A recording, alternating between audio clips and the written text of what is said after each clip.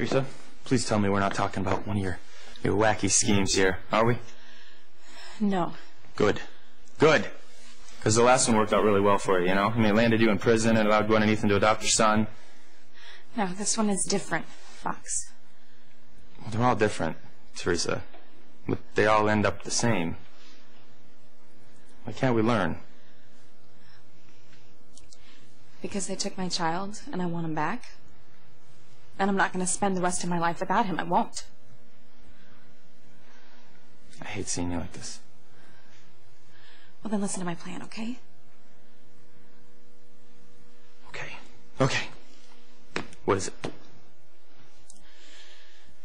I'm going to be the surrogate for Ethan and Gwen's baby. Then I'm going to trade that baby for mine. That's how I'm going to get my son back. By being Ethan and Gwen's surrogate.